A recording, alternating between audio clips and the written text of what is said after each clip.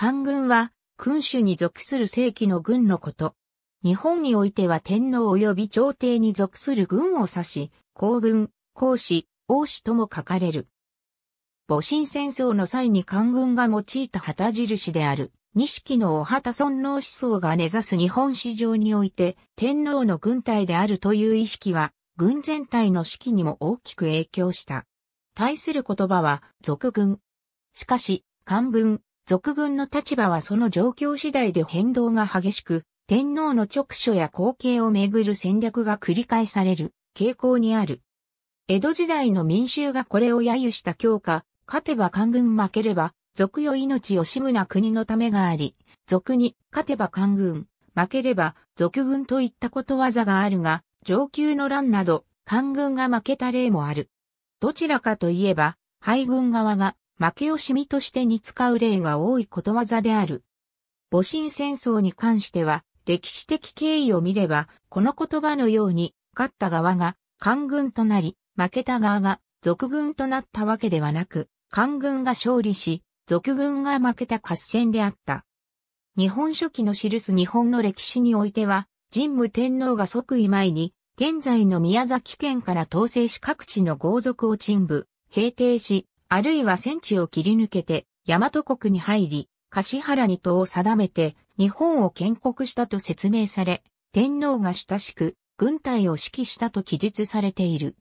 その後も、崇神天皇の時代に4、道将軍が使わされた。日本書紀の記述によれば、神武統制の折、長須根彦軍と穴所守において戦い、一世の命が流れ屋で、致命傷を受けたことが記されている。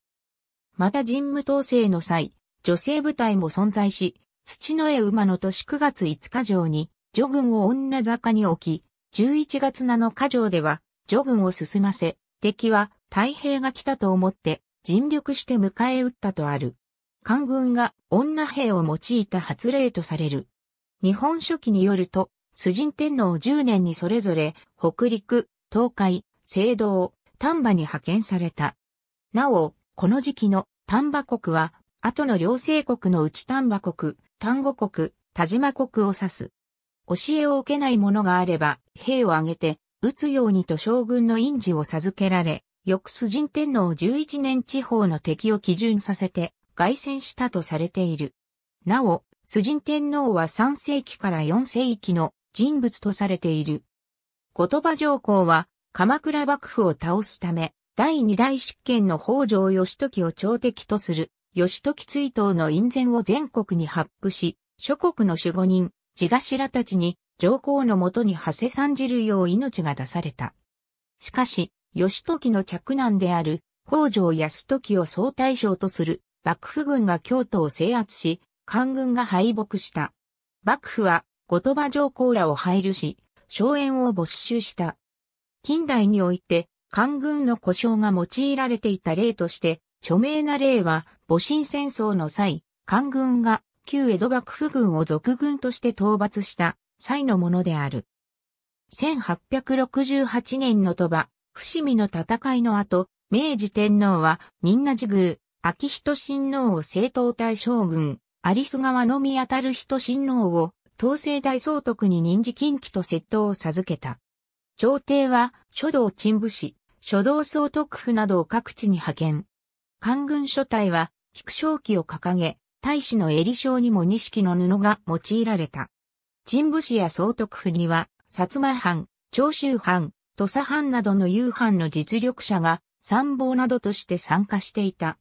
同2月14日、大護を整え板垣大輔率いる、古新政党三道先方総督軍は金利を廃止、京都より出陣。2月15日、東西大総督、有栖川の宮も、京都より出陣した。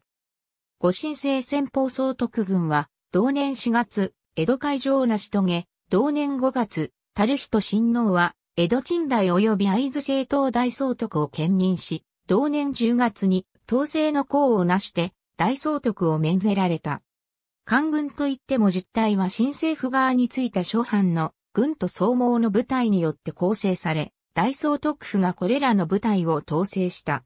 また、各地に民政局を設置して、休民保護を掲げて民衆に宣伝を行った。その一方で、赤報隊が検伝した年貢半減を一時的に了承しながらも取り消したり、世直し一揆を鎮圧するなど宣伝と矛盾する措置が行われたこともあった。混成であるがゆえに、赤報隊の一部は新政府の機関命令を無視して、独断で行動した挙句、各地で略奪行為を行ったため、偽官軍として処分されている。ありがとうございます。